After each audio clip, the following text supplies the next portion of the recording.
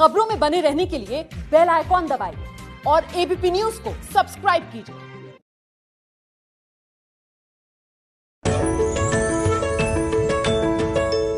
Mean राशि, ये दिन अच्छा है, खूब मेहनत करें, आगे बढ़ने के अच्छे अवसर आपको मिल रहे हैं। बहुत सारे आइडियाज़ आपके पास हैं, लेकिन एक सावधानी इस दिन स्वास्थ्य को लेकर ज़रूर ध्यान रखें। सर्दी, नज़ला, खांसी, जुकाम, इनसे बचना होगा। उपाय क्या करेंगे इस दिन को बेहतर बनाने के लिए? आप दूध या दूध से बनी हुई चीज़ों का दान ज़रूर कर दीजिएगा।